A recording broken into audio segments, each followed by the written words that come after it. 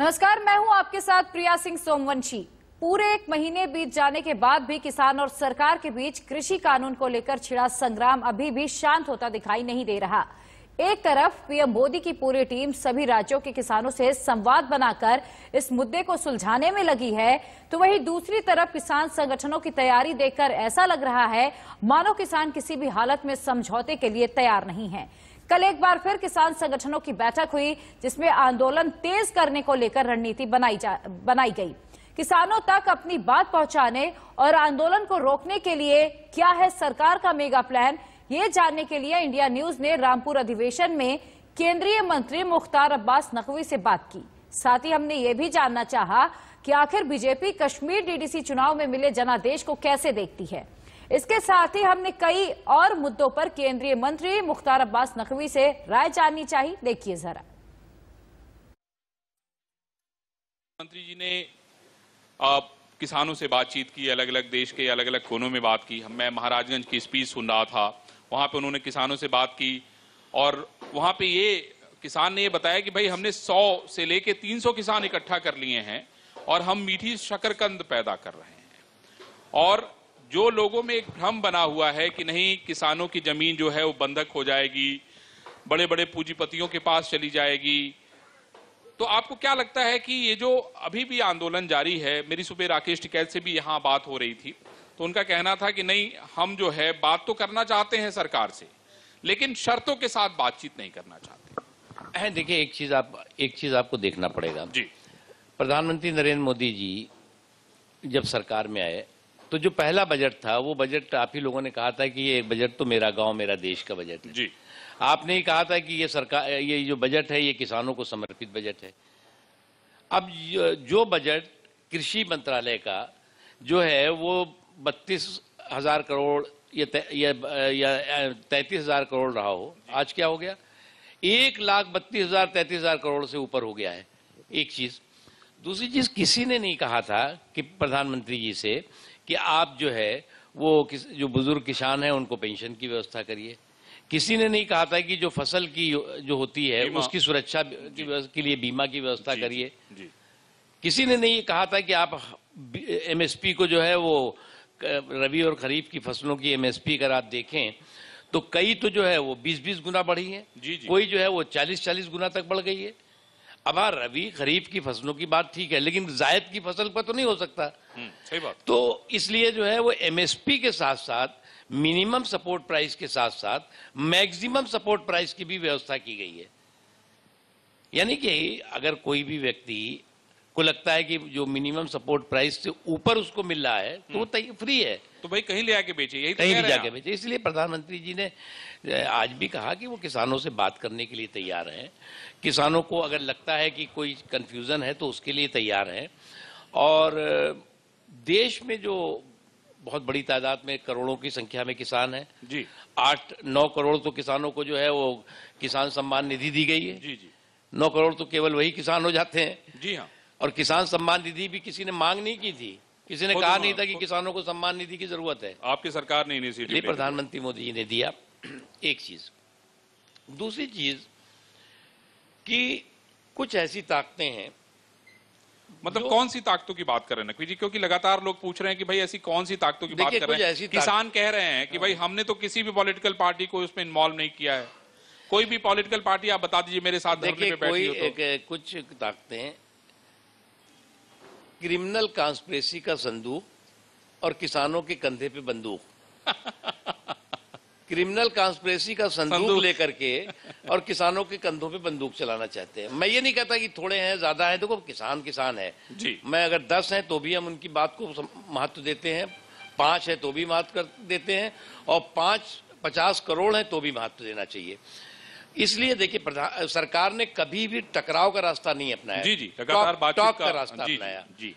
और टॉक के ज़रिए जो है वो सरकार ने जो है वो लगातार रास्ता निकालना चाहते रास्ता भी निकालना चाहा और निकलेगा भी रास्ता। मैं आशावादी व्यक्ति हूँ।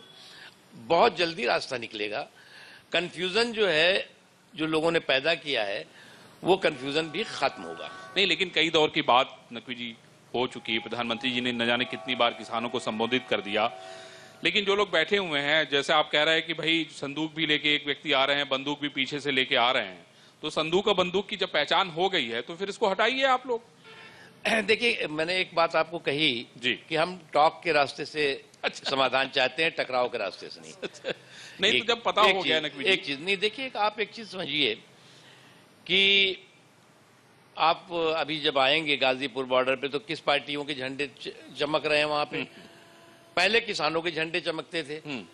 अब इसमें दिक्कत क्या होत है ये जो क्रिमिनल कॉन्स्पिरेसी का संदूक लेके घूमते हैं ना और जो इन्होंने किसानों के कंधों में बंदूक रखा है उनका उनकी उनकी दिक्कत क्या है? वो जो है वो किसी भी अपने चतुराई के चक्रव्यूह में धक्का दे देते हैं। अब धक्का तो दे दिया अब एंट्री गेट दिखा दिया एग्जिट गेट पे ताला लगा देते हैं। अब एग्जिट गेट से भी वो निकलना चाहते हैं तो फिर अपनी एंट्री कर लेते हैं और एंट्री करके उसमें डबल लॉक कर देते हैं। अब आप बताइए शुरू में किसानों के झंडे दिखते थे किसानों की बात अभी हम वहाँ से आएँगे तो राजनीतिक पार्टियों के झंडे उनके झंडों से ऊपर हो जाता। चले गए इसका मतलब यह है कि उन पार्टियों ने किसानों के एजेंडे को हाईजेक किया है और किसानों के नाम पे एजेंडे को हाईजेक किया है और कहीं ना कहीं किसी न किसी रूप में जो किसानों का हित है उसको वो हजम नहीं कर पा रहे हैं। तो आपको लगता है कि अभी बातचीत का रुख जो है वो सरकार की तरफ़ से जो है जो दरवाज़ा है वो खुला रहेगा भले ये ताला बंद हमेशा हमेशा खुला रहेगा। ये भले ताला बंद कर दें। हमेशा। हाँ, जी एक सवाल मेरा भी हाँ, है चूँकि विपक्षियों का ज़िक्र हो रहा है। नकवी साहब आज ही प्रधानमंत्री नरेंद्र मोदी वीडियो कॉन्फ्रेंसिंग के ज़रिए किसानों को संबोधित कर रहे थे। उन्होंने कहा कि इवेंट मैनेजमेंट के ज़रिए विपक्षी अपनी राजनीति चमका रहे हैं। हाल ही में आपने भी कुछ ऐसा ही बयान दिया जहाँ पर आपने बोला ये पिटे हुए पॉलिटिकल प्लेयर्स हैं। मतलब अमूमन मोटा माटी देखा जाए तो कहने की कोशिश ये की जा रही है कि किसानों के कंधे पर रखकर बंदूक चलाई जा रही है और सियासी फ़सल उगाई जा रही है। लेकिन कंफ्यूजन यहाँ पर यही है कि गवर्नमेंट वर्सेस किसान होना चाहिए। जो सीधा रास्ता जाता है, वो गवर्नमेंट वर्सेस विपक्षी वर्सेस किसान जा रहा है और यही वजह है कि फोकस जो है, वो आउट ऑफ़ फोकस हो जा रहा है और बात नहीं बन पा रही है।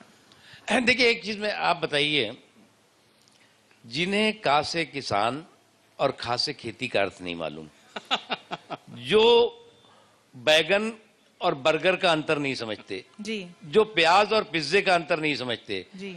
जो गुड़ और गन्ने का अंतर नहीं समझते वो जो है वो किसानों के आजकल सबसे बड़े नेता बने हुए घूम रहे हैं।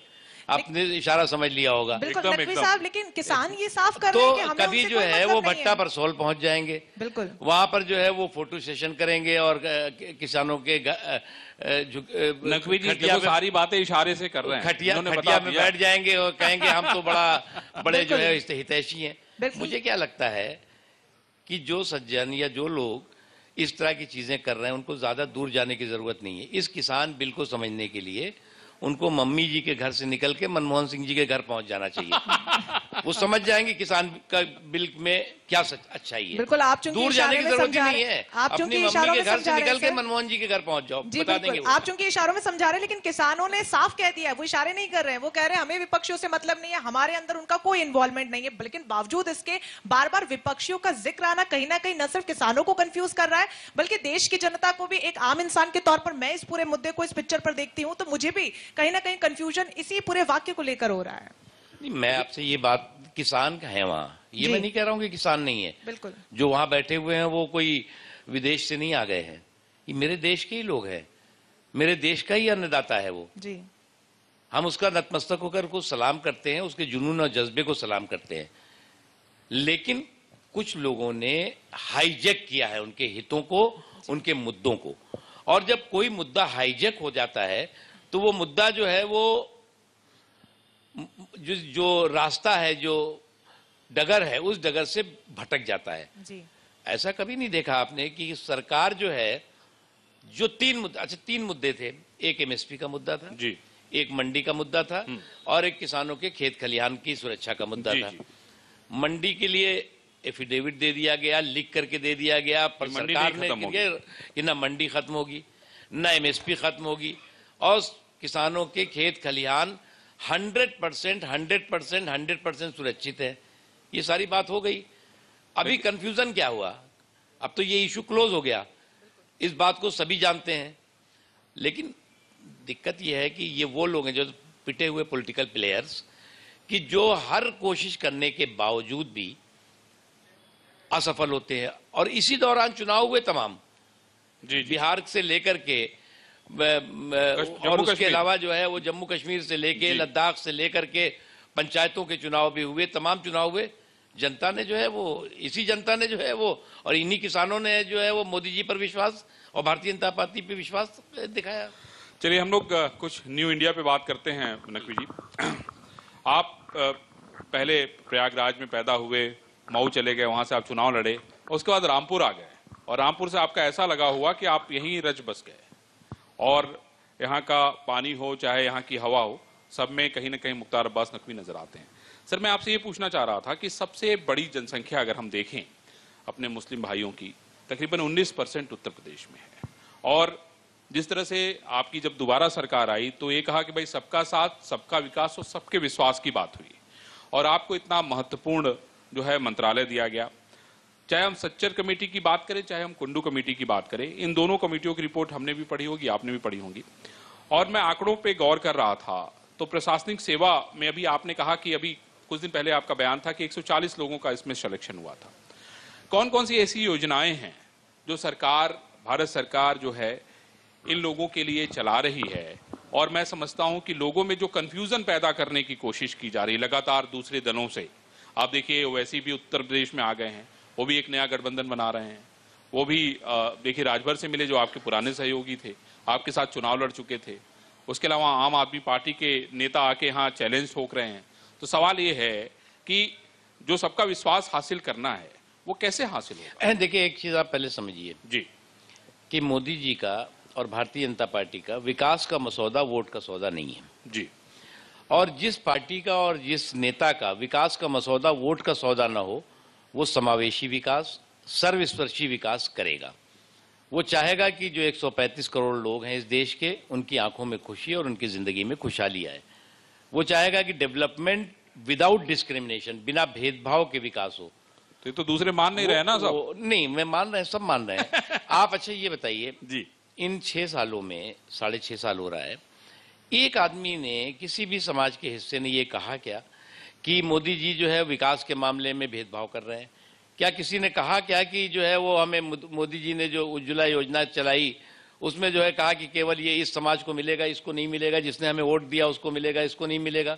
नहीं। क्या उन्होंने कहा कि किसान सम्मान निधि जो नौ करोड़ किसानों को दी गई उनसे जो है वो पहले आधार कार्ड और सर्टिफिकेट मांगा गया कि तुम किस समाज के हो किस जाति के हो किस धर्म के हो? नहीं किया गया। उसके अलावा जो है वो अगर सभी गाँवों में बिजली पहुँचाने का संकल्प लिया गया तो उसमें जो है वो बयालीस परसेंट वो थर्टी टू परसेंट बत्तीस परसेंट गाँव वो थे जो अल्पसंख्यक बहुल गाँव थे जहाँ पे बिजली थी ही नहीं सड़कें थी ही नहीं। तो अगर ये एक छोटी छोटी चीज़ें मैं बता रहा हूँ।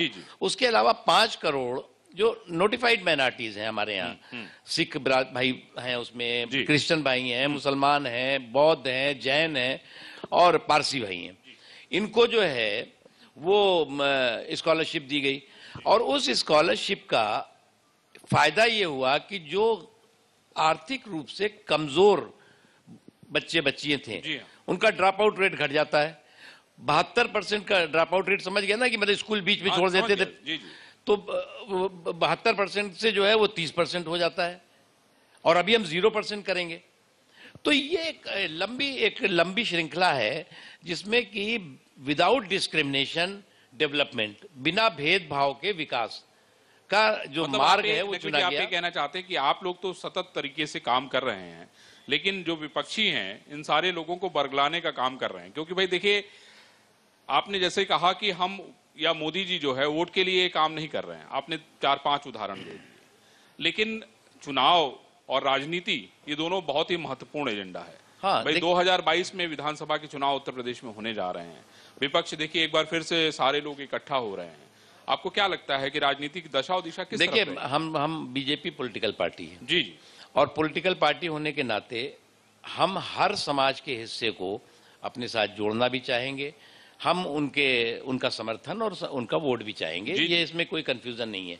बिल्कुल हम राजनीतिक दल के नाते हमारी ये एक नैतिक ज़िम्मेदारी भी है कि समाज के सभी हिस्सों का विश्वास हम पर कायम हो एक चीज़। दूसरी चीज़ ये कि जब मोदी जी 2014 में प्रधानमंत्री पद के उम्मीदवार के तौर से चुनाव के मैदान में गए तो उस वक्त जो है वो अल्पसंख्यक समाज का 19 या 20 परसेंट वोट जी। मिला बीजेपी को। जब 2019 के चुनाव के मैदान में गए तो वो 19 परसेंट जो है वो 28 परसेंट ट्वेंटी पॉइंट कुछ 29 परसेंट की वोट हो जाता है। जी। बीजेपी को मिलता है। जी। एक चीज़। दूसरी चीज़ देखिए ये गलतफहमी कोई आज से तो पैदा नहीं की जब पंडित जवाहरलाल नेहरू से लेकर के और कांग्रेस के पूरे के पूरा जो नेतृत्व था वो उसके बाद जो सेकुलर सिंडिकेट आया वो उसने एक ही एक समाज के हिस्से में दिमाग में दिमाग में डाला कि। बीजेपी जो है तुम्हारी दुश्मन है। तो बीजेपी आएगी खाएगी तुम्हें मार डालेगी ये करेगी वो करेगी तो एक लोगों के जहन और दिमाग में बीजेपी को लेकर के गलतफहमी एकदम अंदर तक ठूस ठूस के भर गई। लेकिन वो जो बर्फ़ थी वो पिघल रही है। अभी मैं कश्मीर में था। जी जी। कश्मीर में क्या आप कभी सोच सकते हैं कि पुलवामा में उड़ी में अरे भाई सबसे बारामूला बारामूला में बीजेपी श्रीनगर में बीजेपी का उम्मीदवार हूँ जीतेगा। सबसे बड़ी पार्टी होके उभरी है बीजेपी हाँ कमल के फूल पर नहीं मैं मैं तो केवल तो इसीलिए तो मैं यही तो कहना चाहता हूँ भाई मुख्तार अब्बास नकवी साहब को जो है हाँ। इस पूरे काम में लगाया गया है। वो चाहे उत्तर प्रदेश की बात करें चाहे कश्मीर की बात करें। तो घाटी में बहुत अच्छा रिज़ल्ट आया। और जगहों पर भी समाज का सभी हिस्सों के साथ साथ अल्पसंख्यक समाज भी भारतीय जनता पार्टी के साथ था है और बढ़ेगा। मैं आपसे ये पूछना चाह रहा हूँ कि उत्तर प्रदेश में बर्फ़ जितनी तेज़ी के साथ पिघलनी चाहिए उतनी तेज़ी के साथ नहीं पिघल रही ऐसा क्यों हो रहा है? देखिए एक बात आप बताइए। जी।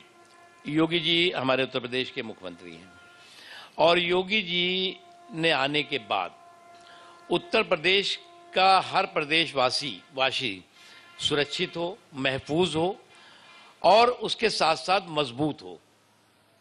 तो उन्होंने महफूज भी रखने के लिए काम किए हैं और मज़बूत भी करने के लिए काम किया है। अगर वो अपराधियों के खिलाफ कार्रवाई कर रहे हैं तो अपराधी जो है वो केवल एक समाज को थोड़ी के लिए थोड़ी चुनौती है। आप हुनर हाट में अब जा रहे हैं। जी। इसी रामपुर में क्या रात में 11 11 बजे 12 12 बजे हमारी मुस्लिम बहनें जो है वो इतनी फ्री होकर के और इतने बड़े आयोजन में घूमती थी क्या? ये तो मैं एक आपको उदाहरण इसलिए कह रहा हूँ कि आप रामपुर में कर रहे हैं। इसी तरह से आज जो है लोगों में थोड़ा स्वतंत्रता आई है। लोग जो है वो महफूज अपने को सुरक्षित महसूस करते हैं और जो अपराधी हैं जो गुंडे हैं जो बनमाश हैं वो असुरक्षित हैं। और इसलिए जो है वो नेचुरली एक एक बहुत ही सकारात्मक माहौल है जहाँ तक विकास का है। केंद्र सरकार का विकास का हो प्रदेश सरकार का विकास का हो इस दिशा में मजबूती के साथ सभी क्षेत्रों में मजबूती के साथ काम हो रहा है। नकवी जी रामपुर की बात हो रही है तो ये लोग मतलब ये कहते हैं कि भाई जो भी लोग जरा सा भी बीजेपी का विरोध करते हैं वो तो चले जाते हैं सलाखों पे। आज़म खान साहब पे एक सौ बारह मुकदमे लग गए। देखिए मैं कोई किसी व्यक्ति पे बात कभी ना करता हूँ। मैंने तो अभी जो है वो जो इस वक्त जो है पप्पू जी के लिए भी बात नहीं की। तो जो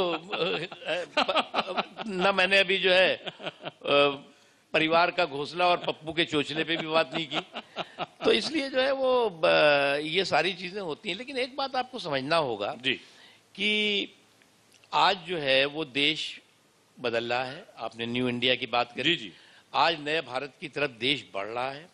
और अगर आप देखें तो आज मेरे हिंदुस्तान और मेरे देश की जो छवि है वो पूरी दुनिया में दिन दूनी रात चौगुनी बढ़ी है। जी जी बदल मज़बूत हुई है। जी जी। और कभी देश जो है वो उधारवाद के नाम पे जाना जाता था कि हमने यहाँ से उधार रखा है यहाँ से उधार ले रखा है यहाँ से उधार ले रखा है। आज उधारवाद नहीं है आज उदारवाद है।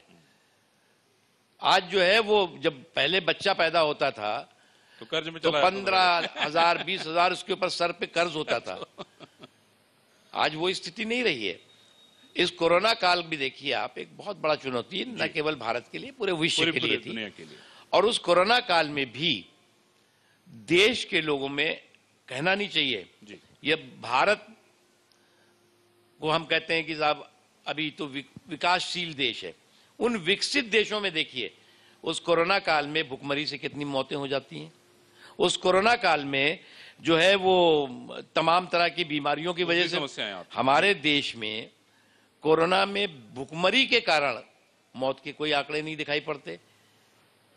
या अन्य जो कारण है बीमारी और ये वो सारी व्यवस्था सरकार ने भी की राज्य की सरकारें हमारी सरकारें और और सरकारें भी मैं सबको कहता हूँ और समाज ने भी की। सरकार के साथ साथ समाज ने भी अग्रणी भूमिका निभाई। लेकिन अगर सरकार का मुखिया जो है वो संकट मोचक की भूमिका में अग्रणी भूमिका नहीं निभाएगा तो समाज उससे पीछे हो जाएगा कि सरकार को मतलब नहीं तो हम क्या करें? एकदम सही कहा। नकवी साहब एक आखिरी सवाल। आप रामपुर से आपका कैसे लगाव हो गया और रामपुर आप यहीं के होके कैसे रह गए? देखिए क्या है कि रामपुर में मैं 98 में चुनाव लड़ा। जी। उसके बाद चुनाव हारा भी यहाँ से। दो दो चुनाव हारा।